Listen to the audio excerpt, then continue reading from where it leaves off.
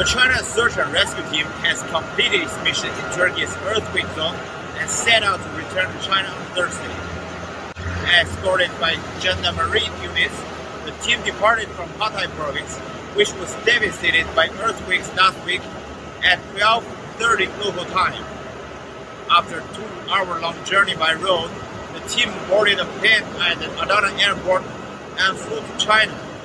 The 82-member team arrived in Hatay's Antakya district on February 8th and immediately started working on the ruins to find survivors.